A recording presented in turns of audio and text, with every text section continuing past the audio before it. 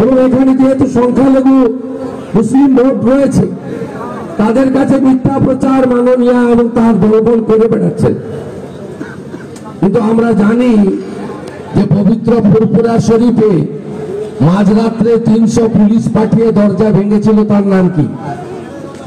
নাম কি ফুরপুরা শরীফে? এই দরদি মুসলিম দরদি সরকার, তৃণমূল কংগ্রেসের তারাই পুলিশ পাঠিয়ে রাত্রিবেলা দরজা ভেঙেছিল, সিসিটিভি ভেঙেছিল। তাই এই মেকি সংখ্যালঘু তোষণকারীর নামে ভোট ব্যাংক তৈরি করে যারা তাদের ছুড়ে ফেলার সময় এসেছে। আজকের এই সমাবেশে আমাদের উর্মিলা বাগেল মহোদয় রয়েছেন, যিনি জাতীয়তাবাদী চিন্তাধারায় দেশপ্রেমিক আদর্শে আমাদের সহযোগিনী হিসেবে কাজ করছেন। প্রাক্তন সাংসদ পদ্মশ্রী শ্রীমতী জ্যোতির্ময় শিকদার মহোদয় রয়েছেন, তিনি তার বক্তব্য রেখেছেন। আর গত উনিশা ডিসেম্বর যেদিন আমি ভারতীয় জনতা পার্টিতে যোগ দিই, রাষ্ট্রীয় নেতা অমিত শাহ শাহজি আমাকে বরণ করেন, আমার সঙ্গে তেতাল্লিশ জন এমএলএ, এমপি এক্স এমপি নেতা জয়েন করেছিলেন। তার মধ্যে ছিলেন হুগলি জেলা পরিষদের অধ্যক্ষ সমীরণ মিত্র, প্রাক্তন বিধায়ক Parvez Rahman ডানকুনির ex vice chairman Debashis Mukherjee, Chanditala panchayat সমিতির কর্মাধ্যক্ষ আলমগীর মোল্লা গৌতম ভাই সহ অন্যান্য তারাও আজকে সবাই এসেছে।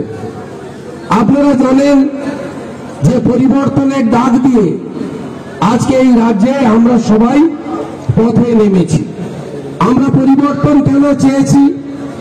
আমি একুশ বছরের এসেছি তৃণমূল কংগ্রেসে ছিলাম। এই এলাকায় রাজনৈতিক প্রচারে এসেছি। কেন আমরা এই পার্টিটা ছেড়েছি আপনারা? আপনাদের আপনারা ইতিমধ্যে শুনেছেন। কারণ এই পার্টিটা আর পার্টি নেই, রাজনৈতিক দল নেই। এই পার্টিটা একটা প্রাইভেট লিমিটেড কোম্পানিতে পরিণত হয়েছে।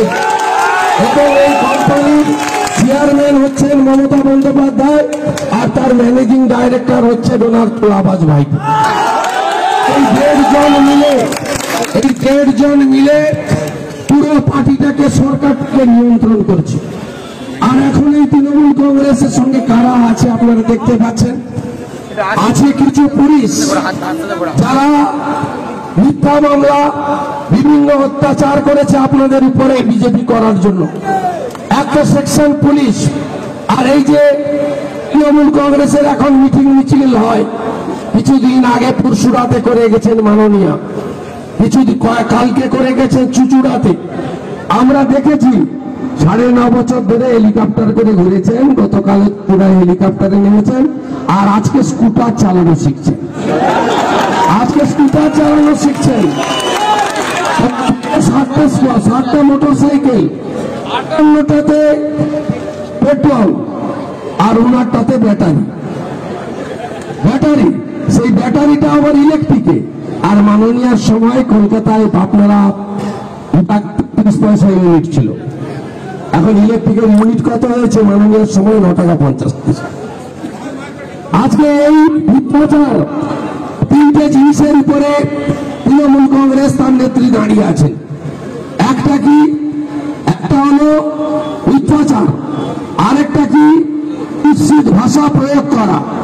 আরেকটা কিসের উপরে তিনি দাঁড়িয়ে আছেন? তিনি দাঁড়িয়ে আছেন সরকারি ক্ষমতার উপরে। আপনারা আমরা সবাই অপেক্ষা করছি। মডেল কোড অফ কন্ডাক্টটা কবে চালু হয়? নির্বাচন আচরণ বিধি কবে চালু হয় তার উপরে। এই পুরসুরার সভা বলুন চুচুড়ার সভা বলুন কারা গেছিল আপনারা দেখেছেন? এসএইচজি গ্রুপের মায়েরা জোর করে নিয়ে গেছে। বলেছে সঙ্গে টাকা দেব না তা কেন্দ্রীয় সরকার দেয়। আমরা মায়েদের জন্য লড়াই করব। কাদের নিয়ে গেছে? একশো দিনের কাজের লোক কেন্দ্রের টাকা মানরেগা তাদেরকে জোর করে বলেছে, তোমাদের হাজিরি দেব না। তৃণমূল কংগ্রেস, তৃণমূল কংগ্রেসের সভা না যাও, এটাই হচ্ছে ওদের ফরমান। সাধারণ মানুষ, এই তৃণমূল কংগ্রেসের সঙ্গে তারা নেই, এটা বারে বারে প্রমাণিত হয়েছে। আপনারা যারা ভারতীয় জনতা পার্টি আগে থেকে করছেন, এখন অনেকে এসেছেন আমাদের মতো। আপনারা দু হাজার উনিশ সালে অমিত শাহজি মোদীজির স্লোগান ছিল দু হাজার উনিশে হাফ আপনারা হাফ প্রায় করে দিয়েছেন আঠারোটা সিটে বিজেপি জিতেছে শুধু আরোটা, আঠারোটা সিটে নয়, আজকে আরামবাগ সিটে ষোলোটা মেশিন তার গণনাকে কারচুপি করে বন্ধ করে আড়াই হাজার ভোটে গায়ের জোরে কারচুপি করে জিতেছে আপনারা জানেন। পশ্চিমবঙ্গের গণতন্ত্র। আজকে সব দলের লোকেদের বলব তৃণমূল ছাড়া। এই ভোটে যদি আপনারা না আনেন, আঠারোর পঞ্চায়েতে ভোট দিতে পেরেছেন? পঞ্চায়েতে নমিনেশন হয়েছে? কেউ ভোট দিতে পেরেছে? নমিনেশন করতে দেয়নি বিডি অফিসের সামনে, লাঠি নিয়ে, বোমা নিয়ে ঘিরেছে। তারপরেও যারা নমিনেশন করেছে, গ্রামে গোলমাল করেছে। তারপরেও যারা জিতেছে, ভোট আজকে কাউন্টিং হল থেকে তাদেরকে মেরে তাড়িয়ে দিয়ে আজকে গায়ের জোরে দখল করা হয়েছে পঞ্চায়েতগুলো একশো দশটা পৌরসভা কর্পোরেশন প্রশাসকের নামে পার্টির নেতাদের বসিয়েছে। ভোট করার সাহস মাননীয় নেই। আপনারা জানেন বিধানচন্দ্র রায় অভিভাবক অভিভাবিকাদের নিয়ে স্কুলে স্কুলে ম্যানেজিং কমিটির ভোট করেছিল। ইনি মাননীয়া পশ্চিমবঙ্গে স্কুলের ম্যানেজিং কমিটির নির্বাচন তুলে দিয়ে ফোর পাস করা তৃণমূল কংগ্রেসের এই চোর ডাকাত গুন্ডাগুলোকে আজকে স্কুল কমিটির মাথায় বসিয়েছে, আপনারা জানেন। আপনারা জানেন যে রাজনীতির মূল পাঠশালা কোথায়? কলেজ ছাত্র সংসদ। আমরা সবাই ছাত্র রাজনীতির প্রোডাক্ট আমরা সবাই ছাত্র সংসদ করে লড়াই করতে করতে আপনাদের আশীর্বাদ নিয়ে এই জায়গায় এসেছি। গত চার বছর পশ্চিমবাংলায় ছাত্র সংসদের ভোট হয় না।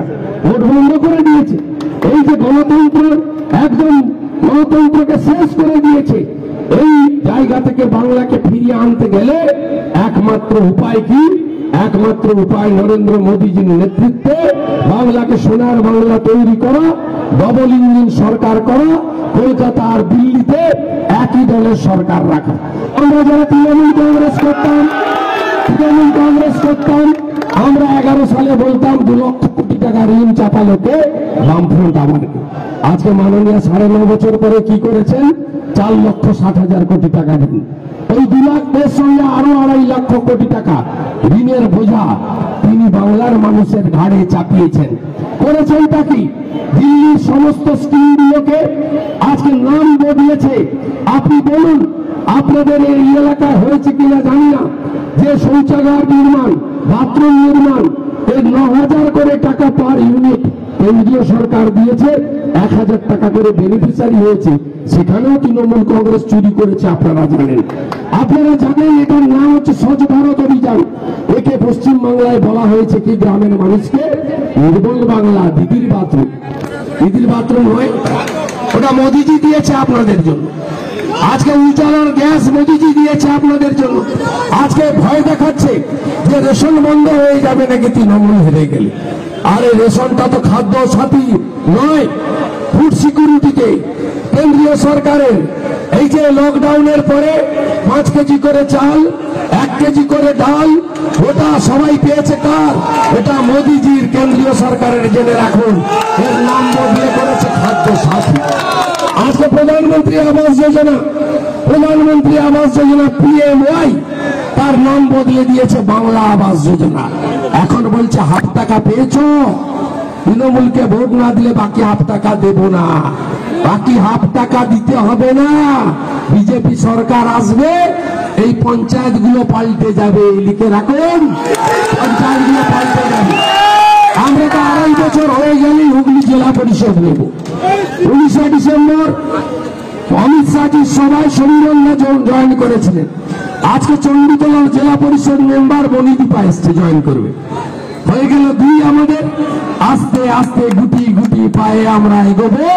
আড়াই বছর পরে হুগলি জেলা পরিষদে পদ্ম ফুটবে। জয় জয় শ্রী শ্রীরাম